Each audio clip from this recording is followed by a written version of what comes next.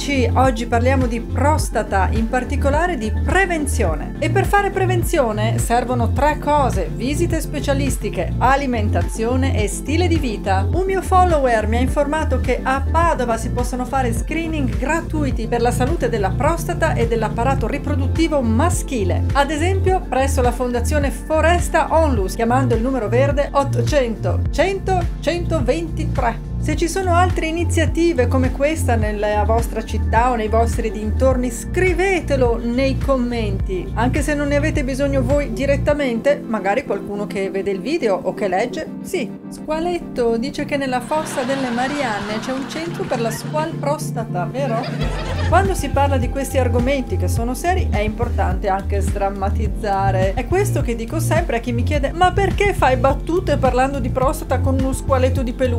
In realtà in molti mi avete scritto che proprio grazie a questo tono leggero e un po' scherzoso avete preso l'iniziativa e avete fatto qualcosa di concreto per la vostra salute. E io credo che questa sia la cosa più importante, siete d'accordo con me? Se è così, mettete subito un bel mi piace a questo video, tanti mi piace, tanti nuovi video. Parlando di cose importanti in tutto il mondo, novembre è il mese di sensibilizzazione per i problemi di salute maschile e della prostata. Per ricordarselo e fare qualcosa di pratico e utile per tutti, due amici australiani hanno inventato e diffuso l'iniziativa Movember. In questo video spiego nel dettaglio come funziona e come partecipare e ragazze, possiamo fare qualcosa anche noi di concreto. Sì, ma basta con tutti questi preamboli, dacci Eccoci la notizia del titolo. Ecco la notizia. Secondo uno studio scientifico, dimagrire aiuta a ridurre il rischio di cancro alla prostata. Sentito spoletto, bisogna smaltire la pancetta?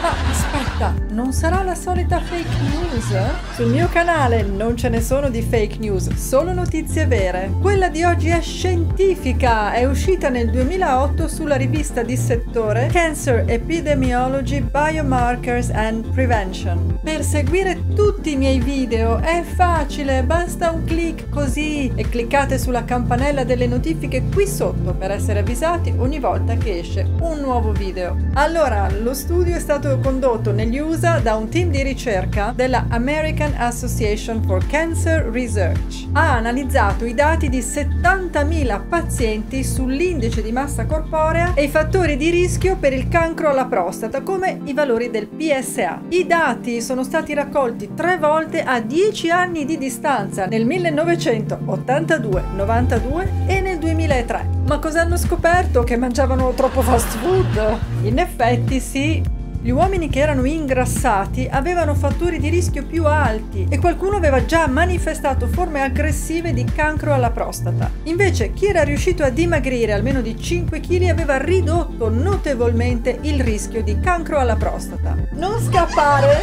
Da domani ti metto a dieta alghe bollite e corallini in bianco.